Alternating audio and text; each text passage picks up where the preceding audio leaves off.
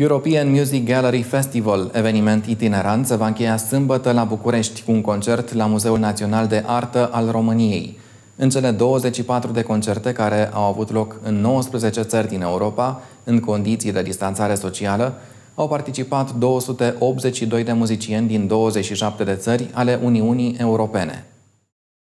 Trei muzicieni, foști și actual membri ai Orchestrei de Tineret a Uniunii Europene din România și Grecia, vor susține sâmbătă de la ora 19 un concert cameral la Muzeul Colecțiilor de Artă. Evenimentul încheie European Music Gallery Festival 2020. La concertul de sâmbătă, toate reglementările pentru prevenirea răspândirii COVID-19 în vigoare vor fi respectate. La acces va fi efectuat un triaj observațional și va fi măsurată temperatura. Participanții sunt de asemenea obligați să poarte masca sanitară, care să acopere atât nasul cât și gura pe parcursul întregului concert. Accesul este liber în limita locurilor disponibile, pe bază de rezervare la adresele de mail irina.iacob.arondicr.ro sau la numărul de telefon 031 7100 671. Orchestra de tineret a Uniunii Europene este una dintre cele mai importante orchestre ale lumii. Începând cu anul 2010, participarea muzicienilor români la această orchestră este sprijinită de Institutul Cultural Român.